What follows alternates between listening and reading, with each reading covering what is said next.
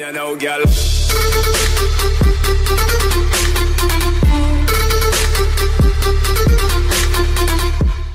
Trịnh Kim Chi tiết lộ nguyên nhân Minh Anh đeo khẩu trang kín mít trong ngày rỗ Lê Công Tuấn Anh.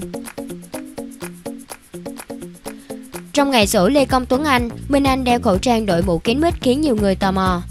Minh Anh bị nhiều người cho là nguyên nhân dẫn đến cái chết của Lê Công Tuấn Anh, nhưng trong ngày rỗ của nam tài tử, chồng của Hồng Vân đã lên tiếng giải oan cho Minh Anh.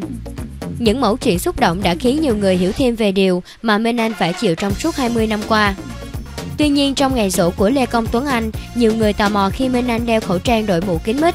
Chia sẻ về điều ấy, Á hậu Trịnh Kim Chi cho biết lý do Minh Anh đeo khẩu trang là do khi về Việt Nam da bị dị ứng nổi mụn.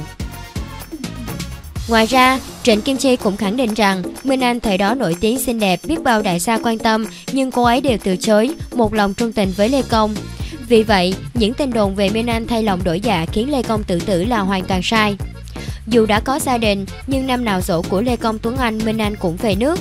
Cô thường đến mộ của Lê Công Tuấn Anh trước các nghệ sĩ khác một ngày để làm cỏ cắm hoa và thắp hương cho nam diễn viên quá cố. Trong đám dỗ sau hơn 20 năm Lê Công Tuấn Anh mất, Minh Anh nắm chặt tay Á hậu Trịnh Kim Chi và bật khóc nức nở.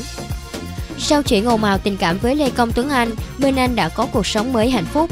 Hiện tại, dù đã ngoài 40 tuổi, nhưng Minh Anh vẫn giữ được vẻ đẹp trẻ trung. Chia sẻ về cuộc sống của mình, cô cho biết Minh Anh của ngày hôm nay chỉ muốn một không gian cho riêng mình và gia đình, tận hưởng và nâng niu những gì mình đang có, đi những nơi mình muốn đi. Thế giới xung quanh chẳng còn hào quang bóng bẩy, chẳng có những người quen, những lời phù phiếm, nhẹ nhàng và dễ chịu muôn phần.